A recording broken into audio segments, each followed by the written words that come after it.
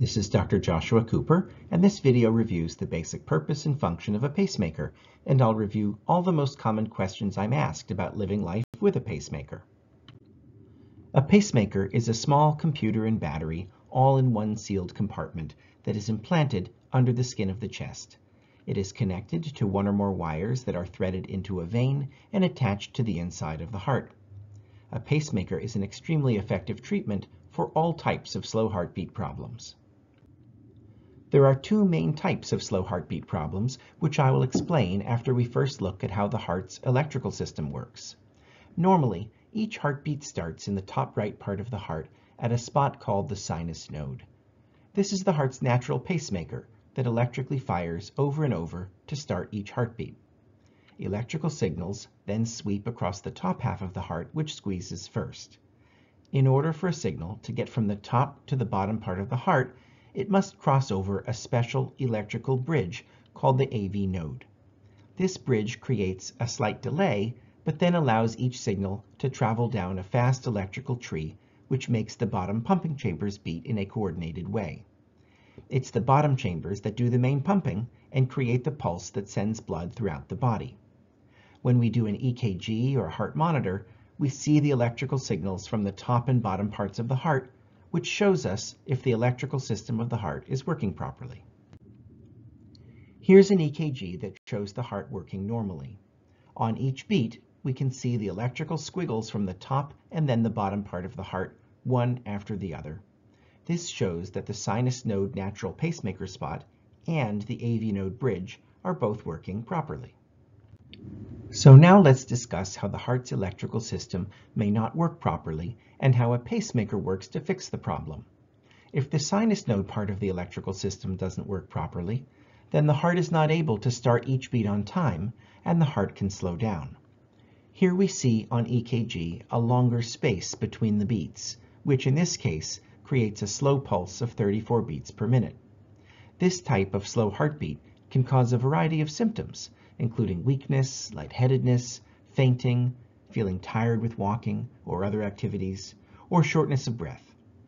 If no treatable cause is found, an electrical pacemaker can be implanted. The pacemaker will substitute for the sinus node function by sending faster electrical signals to the top part of the heart, restoring a proper heart rate. Here we can see a pacemaker working to speed up the pulse rate by using tiny electrical pulses that we can detect on an EKG, but a person cannot feel, other than feeling better with all the symptoms going away that they may have had from too slow a heartbeat. The second type of electrical problem that can cause too slow a heartbeat is the AV node electrical bridge not working. When that happens, electrical signals cannot properly get from top to bottom, and in the worst case scenario, the top chambers may keep going just fine, but the bottom chambers just stop and the pulse is zero, which of course would be a medical emergency. Most of the time, however, this problem isn't quite that severe, and either some of the beats get down to the bottom, or the bottom chambers can wake up on their own and create a slow heartbeat all by themselves, independent of what is going on up top. Either way, the pulse is slower than it should be, and the person may have all the same symptoms that I mentioned on the previous slide. And the problem could get even worse over time, leading to an even slower pulse with more severe symptoms. The solution here again is an electrical pacemaker, but this time the pacemaker needs to pace in the bottom part of the heart, after watching the top half to determine each time it should kick in in the bottom. Here's a pacemaker keeping the top and bottom parts of the heart coordinated, watching for each beat in the top and working as a substitute electrical bridge to transmit each signal down to the bottom to keep top and bottom coordinated and keep the heart beating at the proper speed. So why might the heart's electrical system stop working properly? The most common cause is simply that the heart's electrical system can decline as we get older.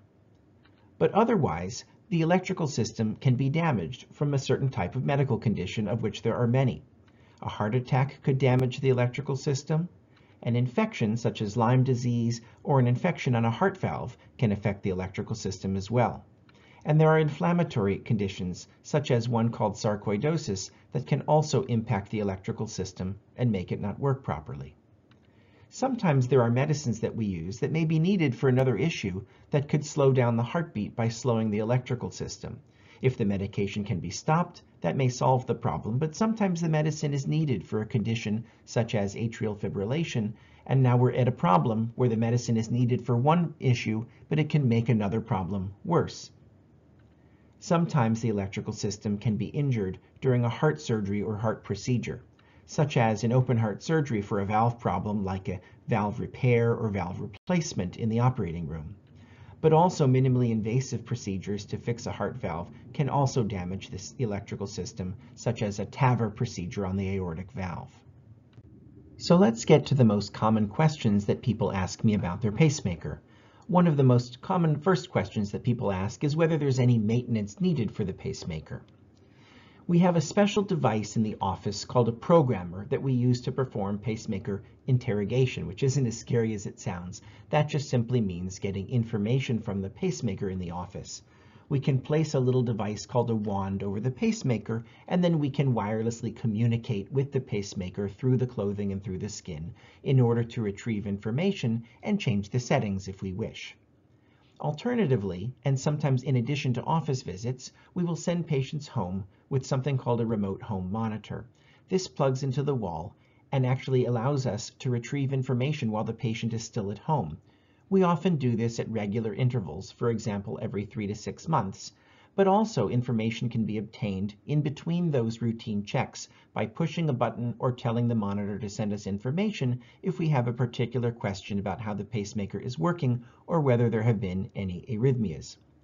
Either way, whether we get information in person in the office or in the hospital or through a remote home monitor, each time we check the pacemaker, we get a very detailed report.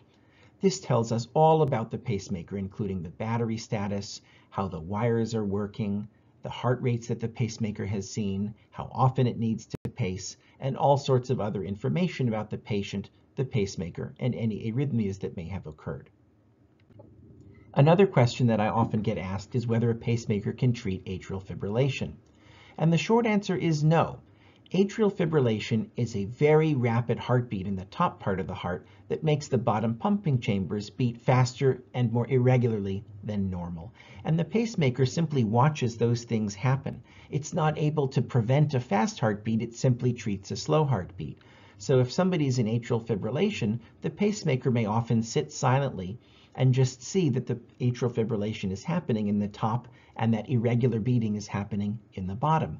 Now, if the bottom chambers decide to go too slow because too few signals are making it across the AV node bridge, then of course the pacemaker will kick in whenever necessary in the bottom to make sure that the pulse rate does not fall below whatever the lower programmed rate may be.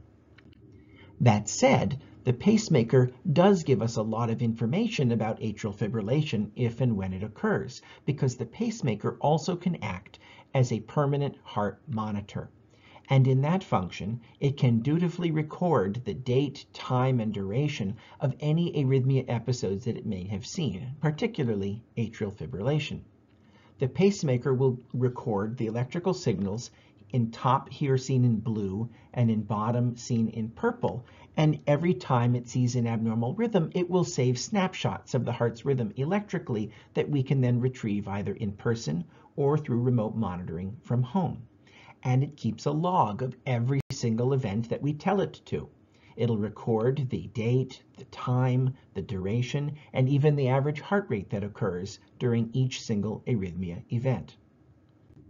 Another one of the most common questions that I get asked is how the pacemaker will impact someone's quality of life and daily activities. For example, uh, can I no longer use a microwave oven? And of course, the answer nowadays is yes. In the olden days, with very old-fashioned microwave ovens and very old-fashioned pacemakers, there was indeed an interaction. But that was decades ago, and there is no longer any problem whatsoever using a microwave. And likewise, people wonder about other things in their daily life that use electricity. For example, cell phones and computers are perfectly fine to use. Same with household appliances, and even the same with routine power tools. None of these things generate electrical signals that are strong enough to interfere with pacemaker function.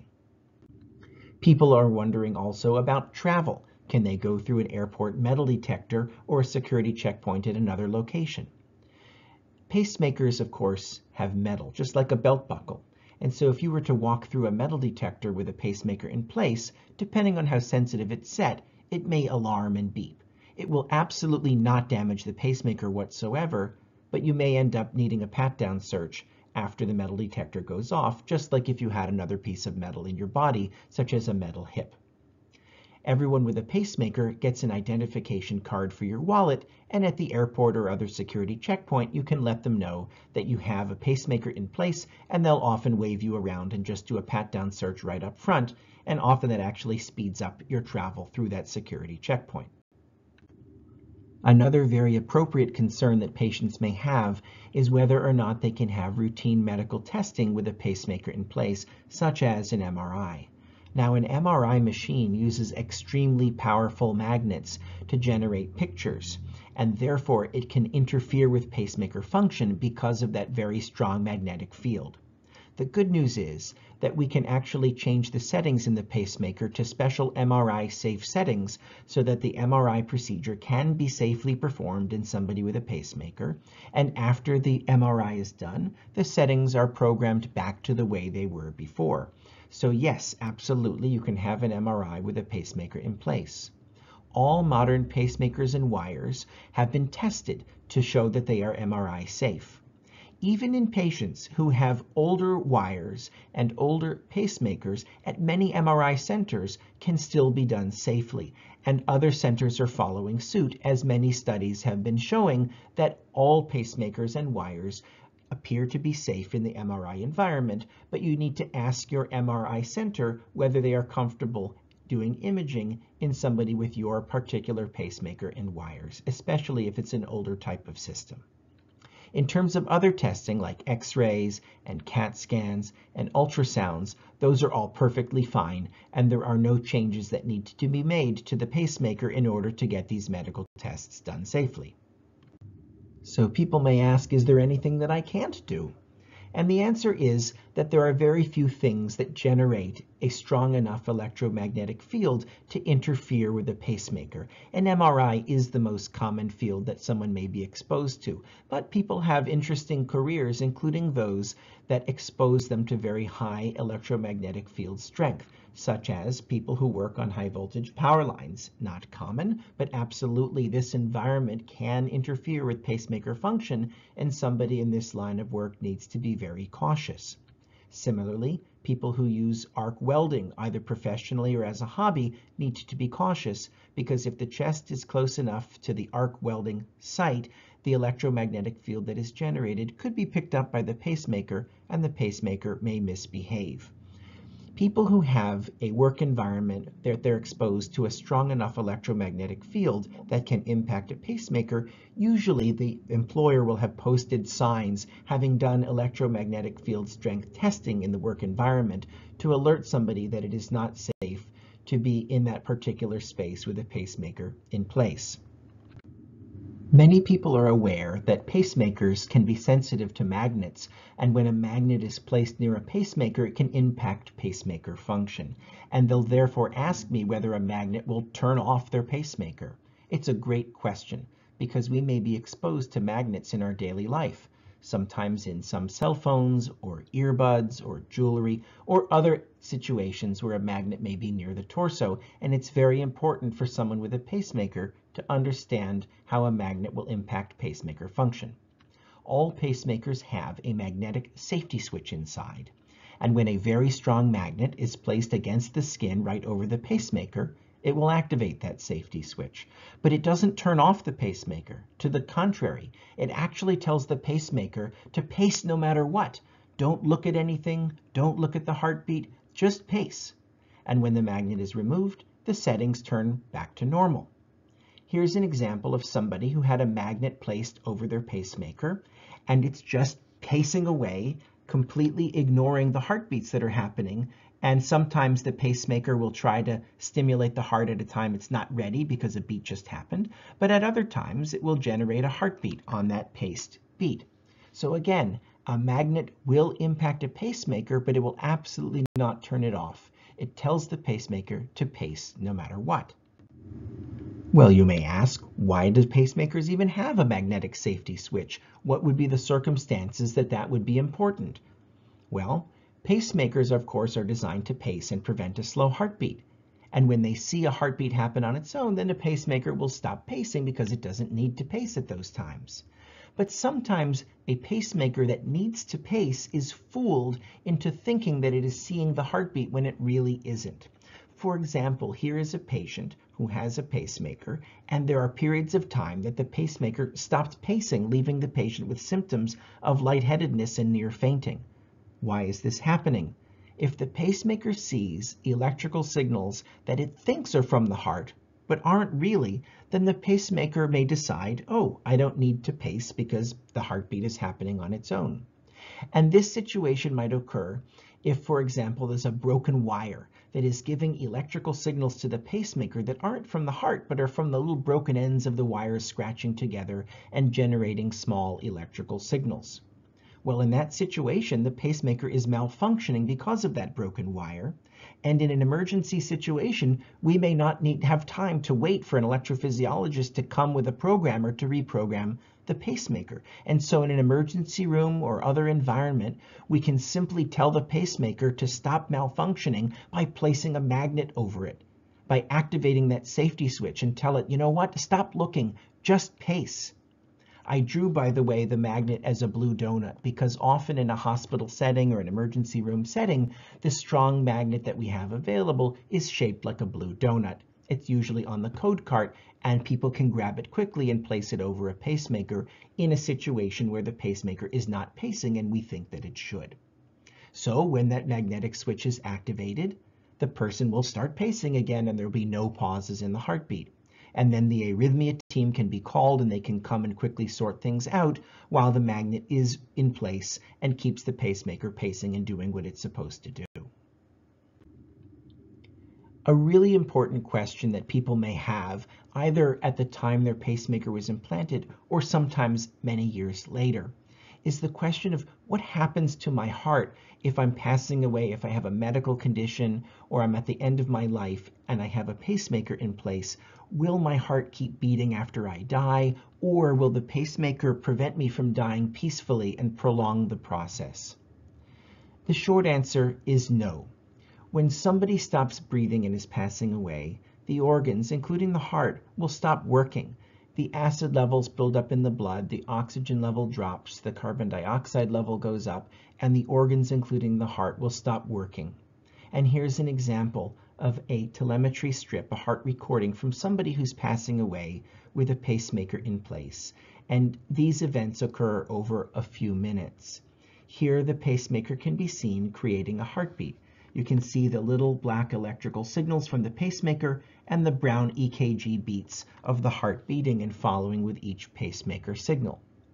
As this person is passing away, we can see that the EKG pattern starts to change because the heart is getting sicker.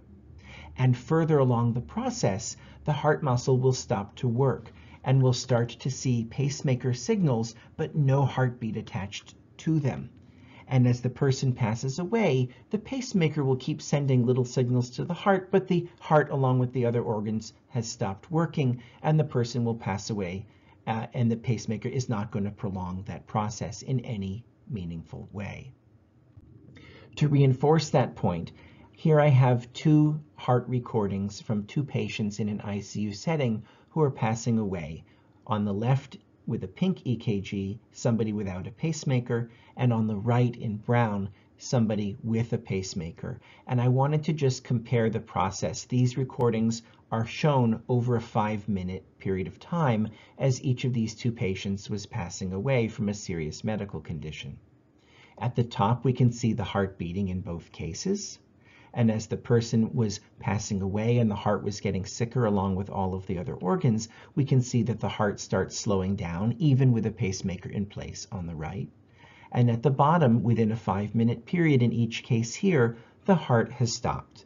Again, on the right, we see electrical signals from the pacemaker, but the heart stops beating and the pacemaker is not prolonging life in this case.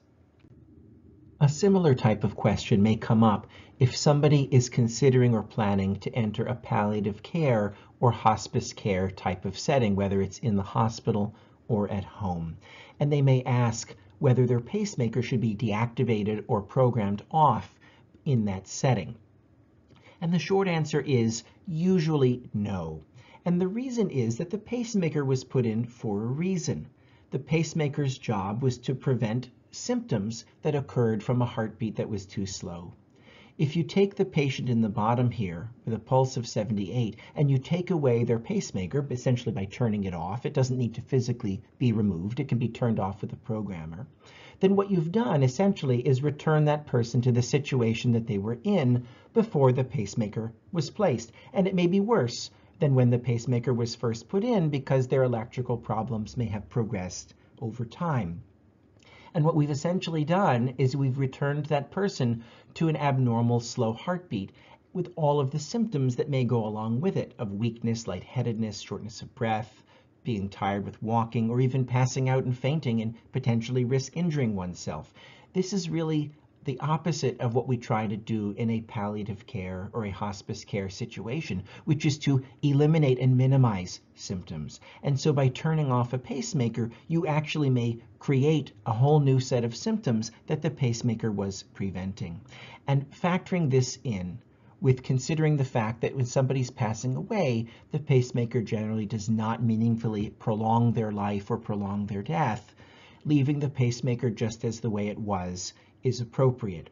Of course, every situation is different and you should talk to your cardiologist or your electrophysiologist about your specific situation and your concerns to make sure that you have the exact care plan that you desire, factoring in what life would be with and without a pacemaker at times that you have to make difficult decisions, including hospice care.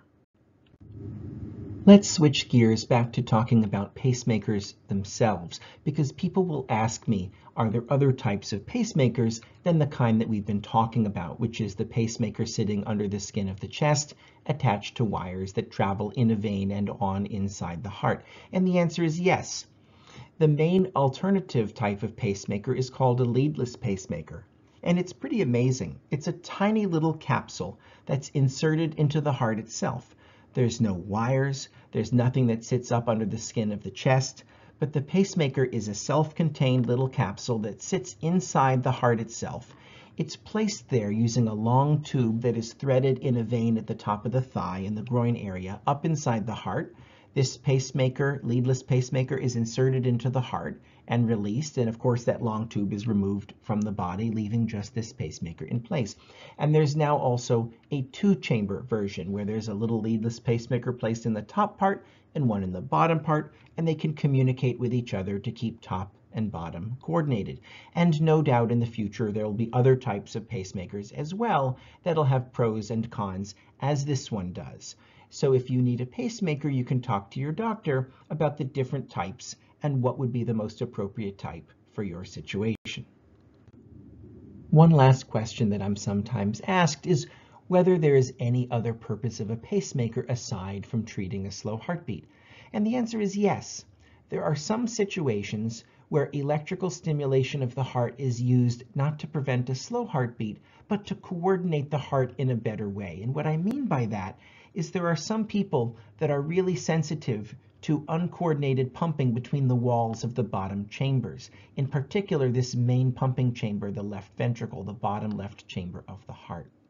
And in that type of person where the coordination of pumping is really important, we can re-coordinate the heart in two different ways. One is using a three-wire pacemaker system called a biventricular pacemaker. Biventricular because you put wires in both ventricles, the right ventricle and the left ventricle, and then we can stimulate the heart from two places on opposite sides of the main pumping chamber at the same time, and thereby re-coordinate the pumping of that chamber in people where this is really important. A second way that we can achieve coordination of that bottom left chamber is to use a two-wire pacemaker, but that bottom wire is put in a very specific place intended to actually capture this branch of the electrical tree that may not be working on its own properly, called the left bundle branch. This is called a left bundle branch pacemaker or a conduction system pacemaker. And again, it's used in specific circumstances where the coordination of the bottom pumping chamber walls is not perfect, and we think that it would help the patient for that coordination to be better.